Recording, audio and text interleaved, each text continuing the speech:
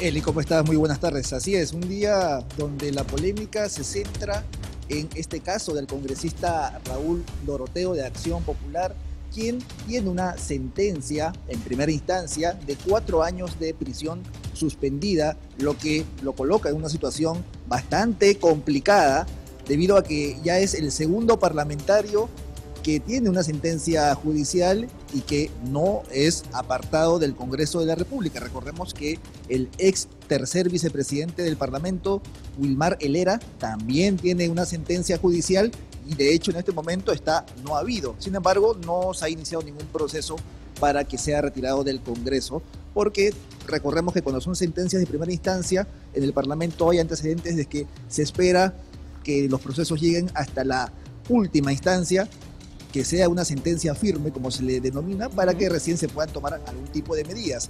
Y la controversia con Raúl Doroteo es que él es parte de la comisión permanente. La comisión permanente que el día de mañana tiene una sesión muy importante donde se analizará el informe final de la denuncia por presunta traición a la patria contra el presidente Pedro Castillo, como bien has mencionado hace algunos instantes. Por lo tanto, el señor Raúl Doroteo tiene voz y voto en esta comisión y tiene un rol importante. Entonces vamos a ver qué es lo que sucede con su participación en este grupo de trabajo, si es que asiste, si es que decide eh, quizás apartarse de manera voluntaria. Lo cierto es que cualquier modificación de los integrantes de la comisión permanente se tiene que dar eh, con una aprobación del Pleno y el Pleno no va a sesionar mañana. Por lo que, como bien mencionaba el congresista Elvis Vergara esta mañana, así la, así la bancada de Acción Popular decida apartar a Raúl Doroteo, el día de mañana él estará habilitado para, eh, digamos, eh, emitir su opinión y también su voto, en este caso de presunta traición a la patria.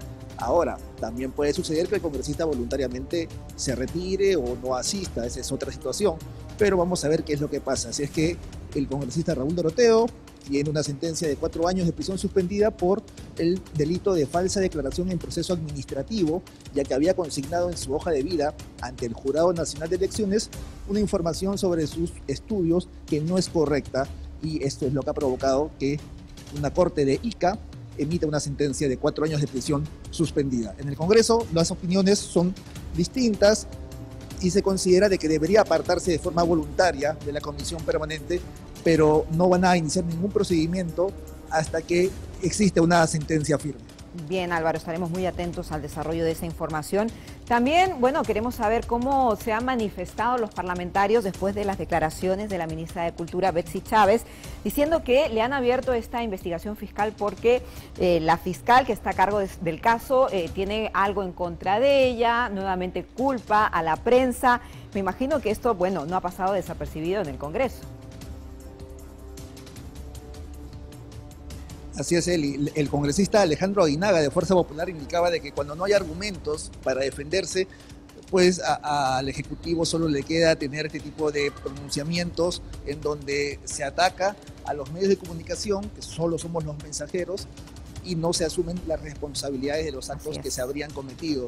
Entonces hay una oposición de parte del Parlamento a la conducta de la ministra Betsy Chávez contra quien se podría iniciar un proceso de interpelación en los próximos días. Es la postura de algunas bancadas de oposición, como Renovación Popular, por ejemplo.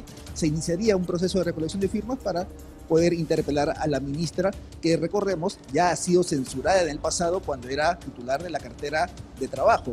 Así es que es una ministra que tiene cuestionamientos desde hace ya varios meses cuando era parte de otro, de otro sector y que ahora enfrenta pues un caso gravísimo en donde se le acusa de presuntamente haber favorecido a familiares de un allegado suyo eh, en puestos de la administración pública. Bien, Álvaro. Y por último, el parlamentario de Acción Popular, Darwin Espinosa, será investigado por la Comisión de Ética por llamar tendera a la congresista de Fuerza Popular, Tania Espinosa.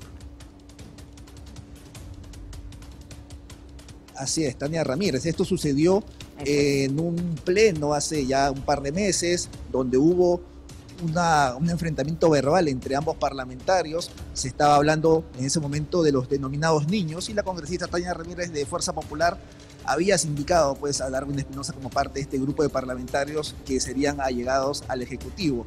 Es en esa discusión que el congresista Darwin Espinosa la llamó Tendera, y esto ha provocado pues una denuncia en la Comisión de Ética por esas palabras, que de hecho el día de ayer se aprobó iniciar las indagaciones, ¿no? Así es que vamos a ver en qué termina esto, porque todavía el proceso está iniciando y seguramente el congresista Darwin Espinosa será citado para que dé sus descargos y luego se tomará alguna decisión. Bien, Álvaro, ¿algún dato adicional que quieras compartir con nosotros? Bueno, hay expectativa por lo que va a suceder mañana miércoles en la comisión permanente. No se sabe aún si es que el presidente Pedro Castillo asistirá al Congreso para defenderse. Es muy probable que solo asista alguno de sus abogados.